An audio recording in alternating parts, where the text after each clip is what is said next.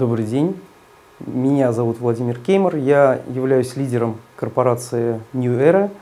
А, New Era Health Industry – это новая эра индустрии здоровья. Это единственная в мире государственная сетевая компания. Я сегодня вам буквально на 1, 2, 3 расскажу о маркетинге, о том, а, насколько он хорош, насколько он комфортен для работы. Как мы знаем, существует самый первый этап, этап старта, процесс работы и формирование лидеров, уже работа лидеров. Самый важный этап э, всегда и везде – это самое начало. Да? Вполне понятно, насколько удобно, комфортно человеку стартовать в бизнесе, это во многом определяет в дальнейшем, останется ли он и насколько останется. Итак, первый этап – это старт. Насколько легко стартовать в компании New Era. А, прежде всего хочу сказать, что маркетинг корпорации New Era является накопительным маркетингом. Все объемы накапливаются, квалификации дистрибьюторов не снижаются. Это значит, что в тот момент, когда человек входит в компанию, он начал накапливать объемы, на, начал накапливать не только свои личные объемы, и объемы всех людей в его структуре, всех людей, кого он пригласил, кого пригласили его люди и кого пригласили вышестоящие спонсоры. Никогда не сможет э, квалификация понизиться, никогда объем не сможет понизиться. Все зависит от того, насколько эффективно работает дистрибьютор, э, и э, от этого будет зависеть время, через которое он достигнет той или иной квалификации. Следующий э, параметр, который очень важен в маркетинге, это отсутствие на первоначальном этапе, на этапе старта обязательств по личным закупкам и по объемам. Что это значит? Это значит, что до тех пор, пока дистрибьютор не вышел на стабильные высокие доходы, ему не надо ни подтверждать свои квалификации ни дел, личными закупками, ни делать какие-то обязательные объемы в своей структуре. Тогда, когда он выходит уже на третью, на четвертую степень, он будет это подтверждать личными закупками и объемами, но при этом уже получая хорошие вознаграждения в виде бонусов от э, объема в своей структуре.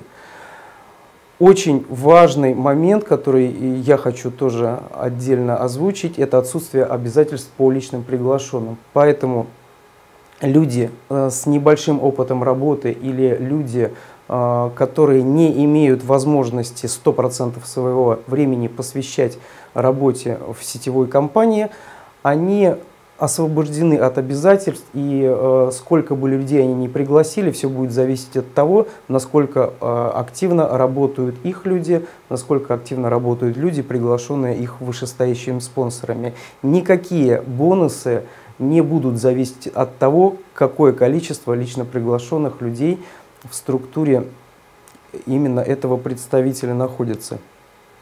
Э, дальше. Маркетинг э, таков, что Бонусы рассчитываются с объемов всей его структуры, вне зависимости от того, слабая ветка, не слабая, с любого направления все 100% объемов э, дают бонус. Ну, как мы все прекрасно знаем, есть виды маркетинга, которые выдают бонус человеку только со слабого направления. Здесь этого нет, поэтому люди могут спокойно развивать свои ветки, не пытаясь наверстать э, тех лидеров э, в своей структуре, которые обгоняют других. Я не могу не обратить внимание на то, что в компании New Era на сегодняшний день в сеть выдается самое большое количество процентов среди всех сетевых компаний мира. Это не смелое заявление, это факт. Э, это говорит о том, что э, компания может себе позволить уже на первом этапе обеспечить людям, представителям стабильный высокий доход. Ну, мы рассмотрели коротко этап старта, мы поняли, что человеку, а, который входит и только начинает свою деятельность в компании, достаточно легко и комфортно работать. И давайте рассмотрим, что происходит дальше. Дальше человек повышается по а, карьерной лестнице и начинает работать вместе со своими представителями, которые находятся рядом с ним в офисе. Кто-то является его другом, а, кто-то из друзей находится в другом офисе, неважно. Важно то, что а, сетевой бизнес таков, что параллельные ветки иногда заставляют общаться людей, а, несмотря на то, друзья они или не друзья, и делают их конкурентами. Потому что если твой друг находится не в твоей структуре, то объемы в твоей структуре он не приносит и делает человека, ставит его на статус конкурента. В компании «Новая эра» этого нет. Дело в том, что в компании «Новая эра» э, доход идет не только от объема в твоей личной структуре, но и от всех параллельных структур в СНГ и даже в мире на определенной квалификации, которая достаточно быстро достигается. По практике могу сказать, а, нашей работы а, через 3-4 месяца а, многие люди, многие представители уже достигают э, такого уровня, когда они становятся не простыми дистрибьюторами, а акционерами компании. Они начинают получать свой пассивный доход как акционеры, когда ты получаешь доход вне зависимости от того, насколько активно работала твоя структура. Потому что если у тебя твои объемы были в этом месяце не очень большими, то и СНГ, и мир все равно сработали хорошо, и ты получишь большой стабильный доход в виде процентов. Это говорит о том, что все представители компании New Era являются не конкурентами, а друзьями, вне зависимости от того, в какой ветке они находятся. Следующий момент. Я знаю очень много людей, которым невыгодно, чтобы в их структуре находились лидеры. Идет конкуренция между представителями, между дистрибьюторами. Если ты начинаешь активно работать и твой темп развития опережает э, темп развития и доходы твоего лидера, твоего спонсора, то твой спонсор может перестать получать от тебя доход. Это маркетинг. А в компании «Новая эра» такого нет, поэтому а, если ты хочешь активно развиваться, твой спонсор твои наставники вышестоящие будут тебе в этом активно помогать. Почему? Потому что они напрямую заинтересованы в твоих объемах. Чем больше ты зарабатываешь деньги, тем больше они будут получать а, в виде бонуса доходы от твоей деятельности. Точно так же, когда мы становимся лидерами, нам очень выгодно, чтобы в нашей команде, в нашей структуре развивались лидеры.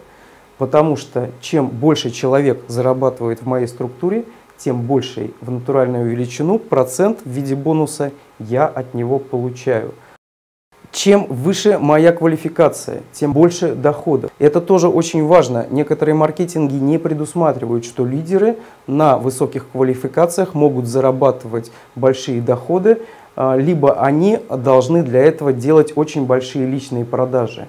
Здесь такого нет. Э, в Путем повышения квалификации мы свои доходы только увеличиваем, ни в коем случае не уменьшаем.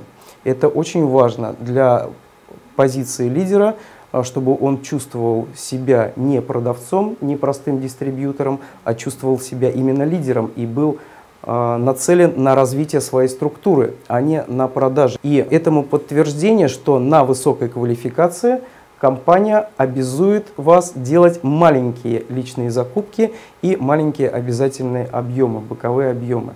Не повышается личная закупка, объем личной закупки. А более того скажу, что на самой высокой квалификации она даже понижается. И это логично, это правильно. Лидер должен заниматься ростом своей команды, а не своими продажами, а не заботиться о том, чтобы он как можно больше продал. Обучение в самых престижных университетах Китая и мира. Достигая определенной степени, лидер получает возможность бесплатно обучаться в двух самых престижных университетах Китая и в Гарварде, то есть в самом престижном университете мира. Эта возможность дается э, лидеру абсолютно бесплатно, и она полностью соответствует профилю деятельности, потому что э, специальность, по которой он может обучаться, она полностью соответствует с, э, специфике сетевого маркетинга. Все дистрибьюторы получают живые деньги. И стратегия нацелена на то, чтобы человек с самого начала стабильно получал высокие доходы. По мере роста эти доходы будут расти и расти. Ну, мы рассмотрели основные параметры, по которым, в принципе, можно оценить любой маркетинг. Я акцентировал вам внимание на тех преимуществах, которые может похвастаться компания New Era. А возникает законный вопрос, и он у меня всегда возникает. И я приветствую тех, у кого возникает вопрос, а где гарантии? Где гарантии того, что маркетинг не изменится? Где гарантии того, что продукция, качество продукции не изменится, цена на продукцию не изменится? Где гарантия того, что у компании хватит сил финансировать свою деятельность, расширяясь на мировом рынке? А, ответ на этот вопрос очень простой. Ответ на этот вопрос, он очень просто отображен вот на этом слайде. То, что компания New Era уже в 18 лет успешно работает на территории Китая. То, что компания New Era а, сейчас приняла решение выходить на международный рынок. То, что в компании New Era сейчас на сегодняшний день уже находится 800 миллионеров. Все это связано с тем, что гарантии стабильности, а, гарантии финансирования, гарантии выполнения своих обещаний нам дает правительство Китая. Это очень важно. Слово, официальное слово официального лица, высокого чиновника, слова министра, слова премьер-министра Китая значит намного больше, чем слова любого коммерсанта. Поэтому, когда нам Китайское правительство напрямую заявляет, что пока существует государство Китай, будет существовать корпорация New Era, к этому нужно серьезно отнестись. Ну а какие, собственно, поставило себе правительство Китая задачи на ближайшее время? Перед вами стратегия развития компании. На сегодняшний день компания выделила 400 миллионов долларов на расширение производства – Компания намерена до 2020 года увеличить ассортимент продукции со 130 до 400 наименований. 50 миллионов долларов правительство Китая выделило на развитие международного рынка. Из них 8 миллионов а, выделено в Россию. Правительство Китая нам обещает выйти в первую тройку сильнейших сетевых компаний мира к 2020 году с объемом в 10 миллиардов долларов. На сегодняшний день цифры таковы. В 2011 году объем составил 555 миллионов долларов. В 2012 700 миллионов долларов.